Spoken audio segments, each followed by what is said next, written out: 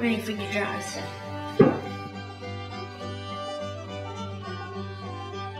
Here's what you need.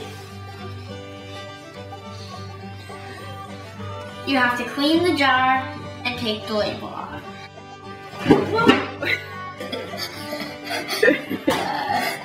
Make sure you dry it off really good.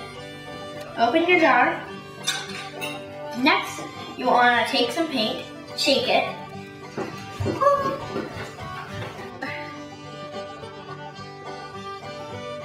Don't lick your fingers.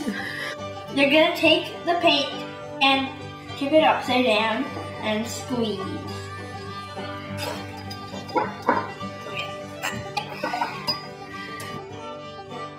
That's a good start. Put your lid back on really well. Make sure it's tight and shake. Make sure the paint gets all over the can on the inside. I think we need more paint. All the spots will eventually get covered. It looks great. Me too! We're gonna look for a minifigure we want to copy. Now draw it on. Don't mind the curve, curve. It might make it a little bit harder, but you can do it. I'm drawing four faces on mine. You're my first one, and my second one. And that's how you make minifigure jars. And if you want, you can cover the paint the top yellow too. Right now, we're gonna take the lids off and let the paint dry on the inside. You can wash out your lid if you want to.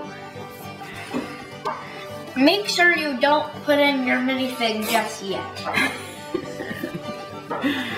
because if you do, it will be covered in paint. I don't know where the dry now sign.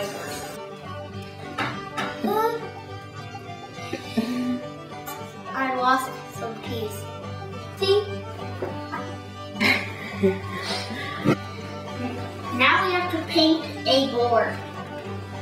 Choose your color and start painting. Get an adult to help you drill two holes in the lid. Okay, now take a shelf and spread out the lids evenly.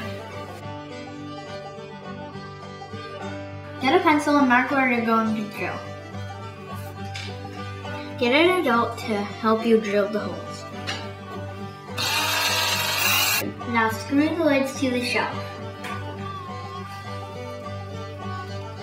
Now screw in your shelf brackets and attach your minifigure jars. Next we're gonna go put it on the wall. Now here it is on our wall. Now you go make it.